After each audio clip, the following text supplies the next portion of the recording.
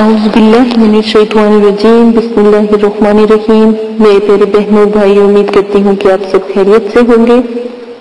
دعا کرتی ہوں کہ اللہ پاک آپ کی تمام پریشانیاں ختم کر دے۔ آپ نے شرائط سن لیے ہوں گے۔ ان شرائطوں کے اوپر عمل کرتے ہوئے آپ کو آج میں عمل بتاتی ہوں۔ وہ عمل آپ لازم کیجیے گا۔ بہت ہی نایاب، بہت ہی اعلیٰ قسم کا عمل ہے۔ دیکھیں، یہ عمل جتنے بھی پیش کیے گئے ہیں، آپ لوگوں کی خواہش پر پیش کیے گئے ہیں۔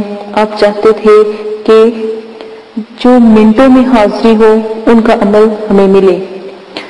تو یہ جو تمام عمل آپ کے ساتھ پیش کیے جا رہے ہیں، یہ تمام جلدی حاضری کرنے والے عمل ہیں، ان کی قدر کیجیے گا۔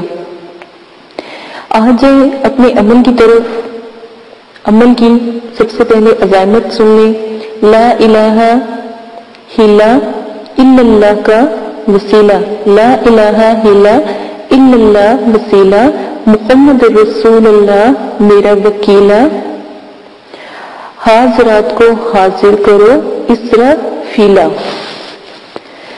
اس عبارت کو، اس عزائمت کو اکتالیس سے یا اکیس بار اول آخر گیارہ گیارہ مرتبہ درود ابراہیمی پڑھ کر مغرب سے پہلے آپ نے اگربتیاں سلگا کر پاک صاف کپڑے پہن کر اور خوشبو لگا کر آپ نے بیٹھ جانا ہے اور عمل شروع کر دینا ہے۔ کم از کم مغرب کی اذان سے آدھا گھنٹہ پہلے آپ بیٹھیں گے اور حاضراتی جو ابھی جو میں نے سیاہی آپ کو بتائی ہے وہ آپ نے تیار پہلے سے کر لینی ہے اور آپ نے ناخن پر اور یا پھر ہتھیلی پر گول دائرہ بنا لینا ہے اور پڑھ کر جو میں نے اوپر عزائمت بتائی ہے پڑھ پڑھ کر آپ اس پر پھوک مارتے رہیں گے۔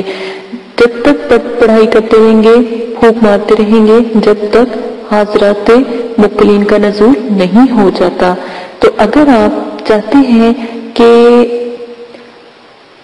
یہ کسی یہ عمل کسی بچے پر کروایا جائے، تو وہی طریقہ جو آپ کے لیے ہے، بچے کے لیے ہے، نابالغ بچہ لیں اور اس کے ہاتھ پر کاجل لگائیں۔